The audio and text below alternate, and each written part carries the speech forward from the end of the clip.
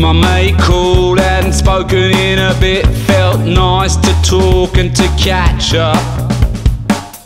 When he asked how you doing, I admit I dropped my guard. Random stuff just came out. I never sleep and I live in my garage. There's a look in my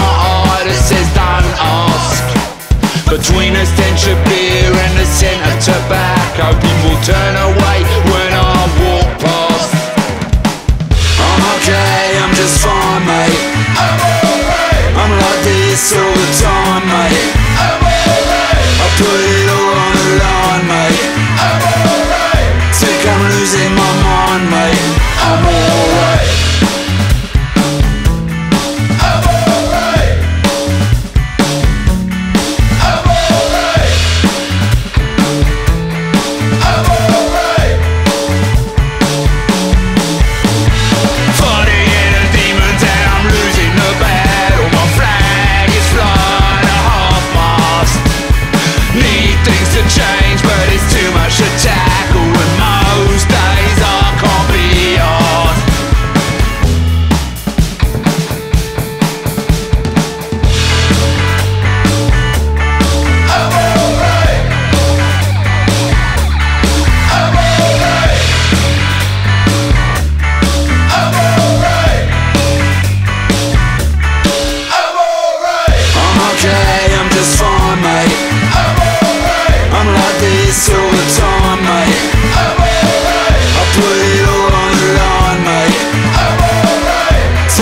losing my mind, mate.